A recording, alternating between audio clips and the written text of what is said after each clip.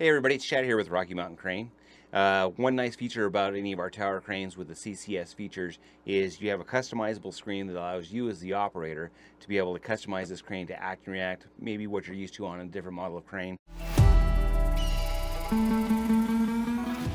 We're going to be going into our LMI screen here, but uh, please take a minute to read all of the uh, notes that are in here in the manual. This is the CCS manual right here, and it's going to explain what all the different features and functions are, and we'll just briefly touch on those and show you where you find them here. From our main operating screen, we're just going to hit the escape button. Again, this escape button here is the upper left button here, and we'll go into driving. We'll hit enter on our jog dial, which is also the enter button in the center of the display here.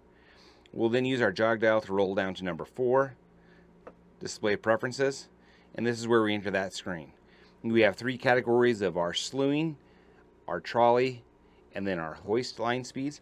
What this is going to allow us to do is the performance of a joystick of uh, if it's a linear or if it's a step or if you want to limit yourself to a certain speed or if you want to allow some counter slewing to slow you down if you uh, over uh, swing on a uh, uh, with a load uh, when we get into our trolley, we have some special uh, features for acceleration, deceleration, as well as uh, the speed feedback, which is the thumpers in the back of your joystick.